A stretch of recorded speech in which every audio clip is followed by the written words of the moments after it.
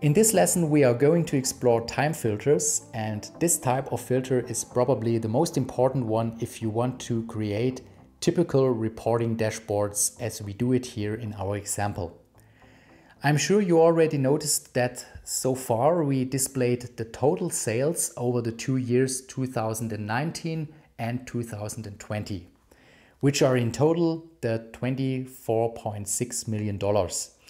What we typically want to see in a dashboard like this are yearly, quarterly or monthly sales values. And therefore I want to give you an overview how you can set up your time filters to get these results.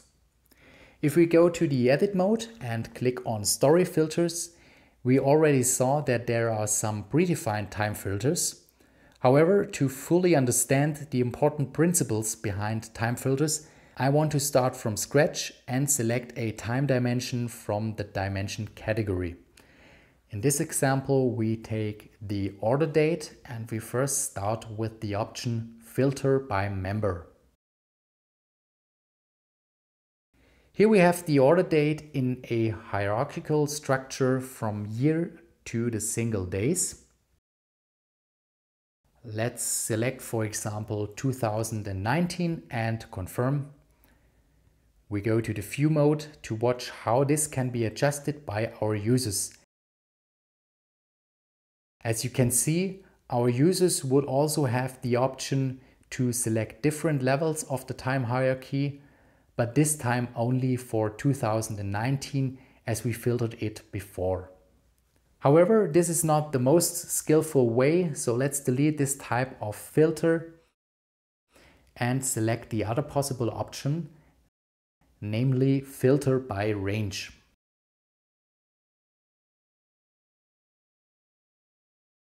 Here we start with the easier type first and select fixed. In this setup we define a fixed time range which will stay the same whenever you open the dashboard. As a granularity we take month and now we can either select the range via drop down or the slider above. Okay, so let's see what happens if we filter from January to December 2020. If we now go to the story filter, we can easily set a desired time range with the slider. And this is much more comfortable than clicking through a hierarchy as you have seen before. So far, we can only select ranges in the year 2020 but there's also a configuration option which says display entire range slider. And if you activate this one, not only the selected range for 2020 will be displayed for your users, but the whole available time range. So when you open the dashboard, there will be 2020 selected and now it's possible to select months from 2019. Okay, one more option for fixed time filters. So far we used the multiple selection, but there's also an option called single value slider. Notice that the display entire slide option disappeared with this setting and with this option you can slide from month to month or from quarter to quarter if selected. Sometimes you have use cases where this option makes totally sense and you should remember it. Perfect, that's the fixed time filter and as I said, the settings for this type of filter stay fixed whenever you open your dashboard. So even if you open your dashboard one year later, the fixed filter will stay at 2020. I use fixed filters especially for analytics dashboards where I want as much flexibility as possible and normally I activate the entire range slider so that my users can select all possible time ranges.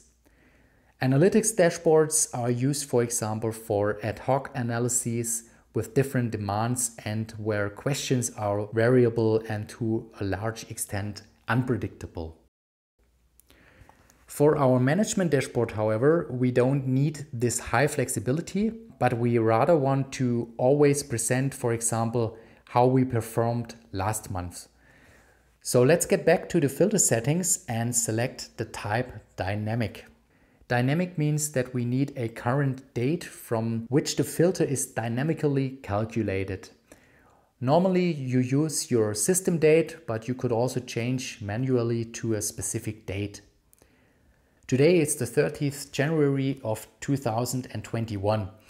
So if I leave all settings as they are, the time filter will select the current year 2021 as a filter. And when I hit OK, we get error messages on our charts since our dataset contains no data for 2021.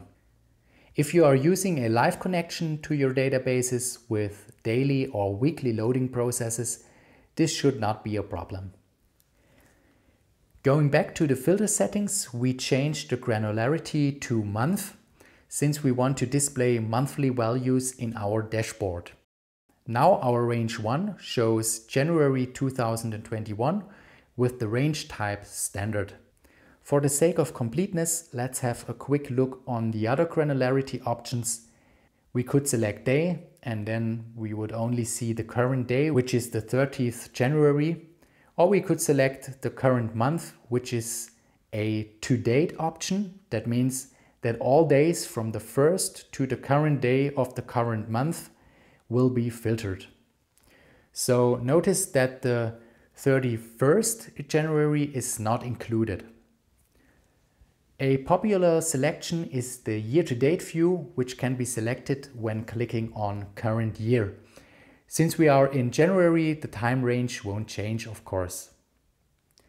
Okay, but let's go back to month and our goal is to filter the last month, which is December. The look back option seems promising. However, when looking back one month, we now have December and January in our filter. So let's undo this and go to range type where we find the solution we actually want because we need an offset for our requirement. A second row with new option appears and we now have to define the offset to our current date. We want to look back.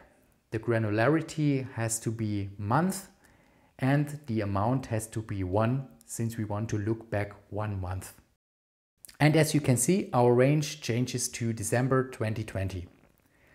Let's have a look at another example. If you want to look back a whole year, select year as granularity and then January 2020 will be the filter in our case here. To be honest, this is not so intuitive and I recommend that you play with the different settings to get familiar with it. To check whether you have the right settings, just compare your demands with the time interval above or with the range dates. Okay, that's it. Our whole dashboard is filtered by December 2020 now with total sales of about $1.7 million. There's one thing I'm not satisfied at the moment. Our time series chart is also filtered by December 2020, which makes no sense. Therefore, we are going to convert the time filter to a page filter. Click on the right lane where we have our filter section and then convert the story filter.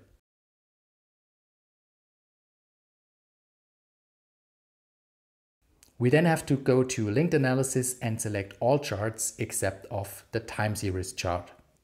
You know the settings from the linked analysis lesson.